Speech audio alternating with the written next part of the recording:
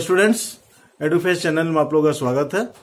तो अभी जस्ट इससे पहले आप वीडियो देखे होंगे, जिसमें सीबीएसई का लेटेस्ट सिलेबस आप तक पहुँचा है।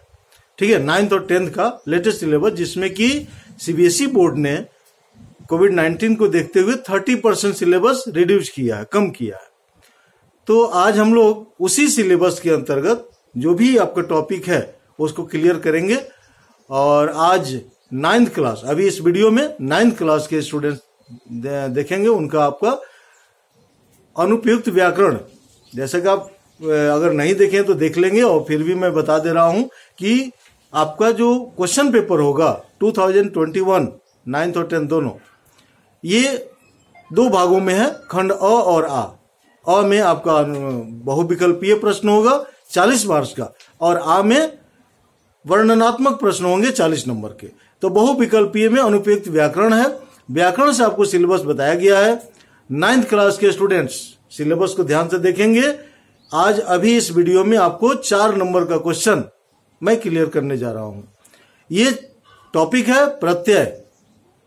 तो स्टूडेंट्स, प्रत्यय से आप देखे होंगे उसमें, सिलेबस में, कि चार प्रत्यय क्या आ रहा है, ना? इस सिलेबस 2021 में जो आपका प्रत्यय से आएगा वो भी बहुविकल्पीय है ऑप्शनल चार क्वेश्चन होंगे एक एक नंबर के उसमें ऑप्शन दिया रहेगा, आपको चूज़ करना है सही विकल्प क्या होगा, ठीक है? तो प्रत्यय आपके हैं, चार प्रत्यय भी हैं। ध्यान देंगे कौन कौन प्रत्यय हैं। आप सिलेबस देखे हैं तो मालूम होगा, और नहीं देखे हैं तो जान लीजिए, और देख भी लीजिएगा, क्योंकि प्रत्यय के अलावे टोटल आपका कोर्स का उसमें वर्णन किया गया है, बताया गया है। तो ठीक है, देखते हैं अभी हम लोग, चार नंबर का प्रत्यय। ठीक है? क्लास स्टैंडर्ड आपका नाइन्थ का है ये। नाइन्थ क्लास ठीक है ना? नाइन्थ क्लास का है संस्कृत प्रत्यय। प्रत्यय आपके ये चार नंबर का आएगा। ठीक है ना? फोर मार्क्स तो प्रत्यय में आपका है पहला अक्तवा दूसरा लेअप तीसरा, तुमुन। तुमुन और चौथा अक्तोबर ये आपके चार प्रत्यय हैं, ठीक है? तो ये चारों प्रत्यय से ही आपके प्रश्न आएँगे एग्ज़ाम में। और प्रश्न किस टाइप का होगा? जैसे सेंटेंस दिया रहेगा और सेंटेंस में प्रत्यय युक्त शब्द आपको दिया रहेगा। और ऑप्शन होगा कि इसमें से कौन प्रत्यय लगा हुआ है। जैसे स पठित्वा भोजनम करोती, वह पढ़कर भोजन करता है। अब पठित्वा अंडरलाइन होगा। उसमें चार ऑप्शन होंगे, तुमुन लेअप अक्तवा, अक्तवत। ठीक है? अब चारों में से कौन सा ही आपको लिखना होगा। इस तरह से चार नंबर आपके कंप्लीट हो जाएँगे इस वीडियो को देखने से।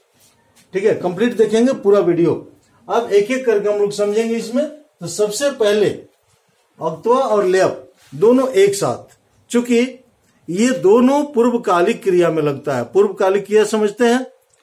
एक ही वाक्य में दो क्रियाएँ आती हैं। तो जो क्रिया पहले होती है, कर्तव्य द्वारा पहले की जाती है, उसको पूर्वकालिक क्रिया कहते हैं। ठीक है? जैसे वह पढ़कर सोता है तो पढ़ना और सोना, दो क्रियाएँ हैं यहाँ पर। एक क्रिया पहले हुई, पढ़ना, उसमें कर लगा है। ना, कर या करके। उसको पूर्वकालिक कहेंगे। और उसी में अक्तवा या ल्यप ये दोनों प्रत्ययों का प्रयोग किया जाता है। तो किस कंडीशन में? कब देखिए, पहला इसमें हम लोग कत्वा, जिसको अक्तवा पढ़ा जाए, या ल्यप। दोनों एक साथ हम लोग समझेंगे इसको। ठीक है? ये दोनों पूर्वकालिक क्रिया के साथ लगता है। पूर्वकालिक पूर्वकालिक क्रिया।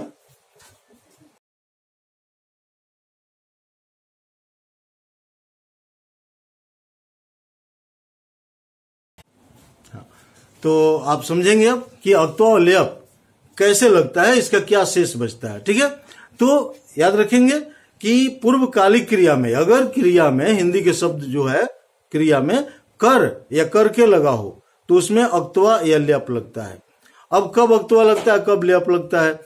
तो अब संस्कृत में आ जाएँगे कि मूल धातु में, यदि मूल धातु अपने असली रूप में रहेगा तो अक्तवा लगेगा, और यदि मूल धातु में उपसर्ग लगा हो तो अक्तवा की जगह पर लेप प्रत्यय का प्रयोग किया जाएगा।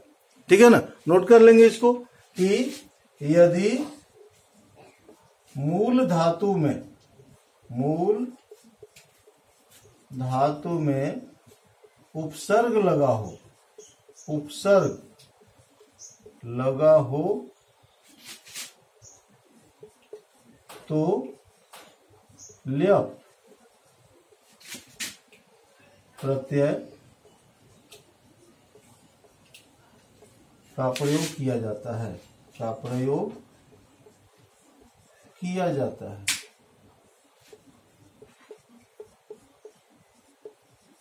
ठीक है? उपसर्ग लगा हो तब, मूल धातु में उपसर्ग लगा हो और अगर उपसर्ग नहीं लगा, मूल धातु अपने असली रूप में है तो अब तो प्रत्यय का प्रयोग करेंगे। जैसे,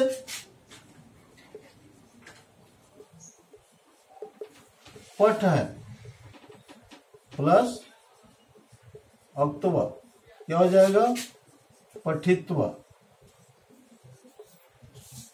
पठित्व, ठीक है? अक्तवा का क्या? त्वा शेष बचता आधा का हट जाता है। अक्तवा तो आधा को हट जाएगा, त्वा शेष रहेगा उसका। अक्तवा का। और सेठ धातुओं के साथ ई का आगम होता है। जैसे पट धातु सेठ धातु है तो इसमें ई हो जाएगा, पट से पठी बनेगा। और फिर अक्तवा का त्वा शेष बचेगा। ठीक है? लिख कम रहे हैं, बता दे रहे हैं आपको, ध्यान में रखेंगे इस बात को। उसको हम लिख नहीं रहे हैं कि अक्तवा का त्वा शेष बचता है और लेप का य शेष बचता है। केवल य आधा ल और प लास्ट वाला हट जाएगा, य शेष बचता है, लेप का। ठीक है ना? और शेठ धातुओं में ई का आगम होता है दोनों में। ठीक है? तो अब इसमें पठ में गम है, ये अनिट है। तो गम में अक्तवा लगेगा तो ये हो जाएगा गत्वा। गत्वा, हिंदी समझ लेंगे? इसका हिंदी होता है पढ़कर। और इसका हिंदी होगा जाकर। ठीक है? अब लेप में इसी गम में आ लग जाएगा उपसर्ग आ, और तब गम हो गया। तो अब इसमें अक्तवा नहीं लगेगा लेप लगेगा। लेप लेप प्रत्यय। ये हो जाएगा आगम्य। आगम्य मतलब आकर। ठीक है? आ आ हो गया, गम का, गम हो गया, म आधा हुआ और लेप का ई शेष बच गया। ठीक है? जैसे और भी है, प्र, नम प्लस लेप हो जाएगा। प्रणम प्लस लेप, बराबर? प्रणम्य। न का अड़ा होता है, प्रणाम करके। प्रणाम करके। प्रणाम करके ठीक है? तो अभी हम लोग अक्तो और लेप प्रत्यय को देखे कि इसमें वंस अगेन बता दें, अक्तवा का त्वा शेष बचेगा, लेप का य शेष बचेगा। और इसमें सेठ धातुओं में ई का आगम होगा, अक्तवा के साथ। ठीक है ना? अक्तवा प्रत्यय रहेगा तो उसमें ई का आगम होगा। जैसे पट है, खाद है, खाद में खादित्व हो जाएगा। तो जहाँ भी आप देखिए कि त्वा लगा हुआ है तो अक्तवा प्रत्यय आपको उसको चेक करना है कि यह अक्तवा प्रत्यय है। ठीक है?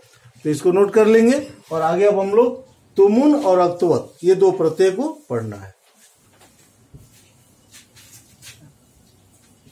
हाँ तो अब अगला है तुमुन प्रत्यय। तुमुन प्रत्यय के लिए के अर्थ में, अगर हिंदी के जो क्रिया है उसमें के लिए लगा है तो तुमुन प्रत्यय का प्रयोग किया जाता है। इसके जगह पर आप चतुर्थी विभक्ति का प्रयोग करते हैं ना? विभक्ति प्रयोग भी किया जाता है के लिए चतुर्थी विभक्ति। तो यहाँ तुमुन प्रत्यय के लिए के लिए के अर्थ में इसका प्रयोग किया जाता है। इसका प्रयोग होता है। ठीक है, क्रिया में अगर के लिए रहेगा तो इसका प्रयोग होगा। तुमुन प्रत्यय का,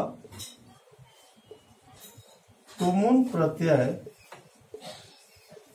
का, तुम शेष बचता है, तुम तुम शेष रहता है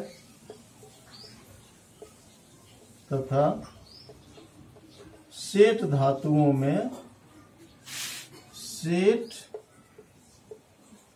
धातुओं में छोटी ई, ना, ये, छोटी ई का आगम होता है।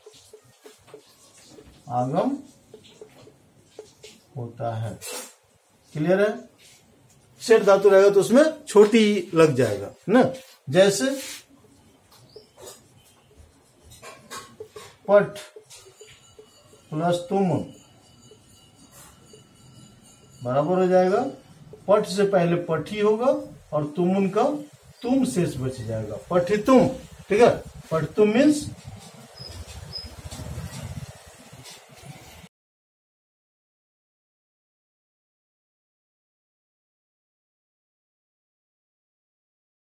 पढ़ने के लिए,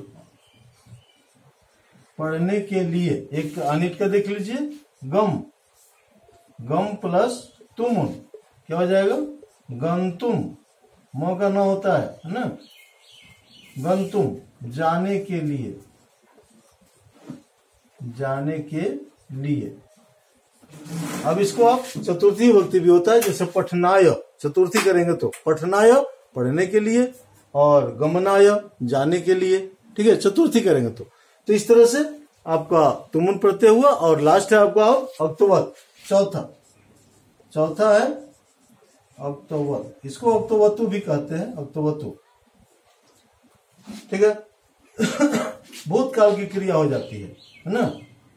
भूत काल की क्रिया।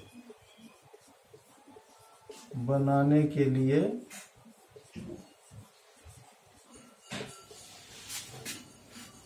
अक्टोबतु प्रत्यय। लगाया जाता है।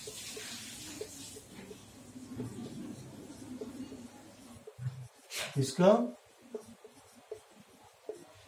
वान शेष बचता है ना? वान शेष रहता है। जब पुलिंग में वान होता है, स्त्रीलिंग में वती हो जाएगा। वान या वती।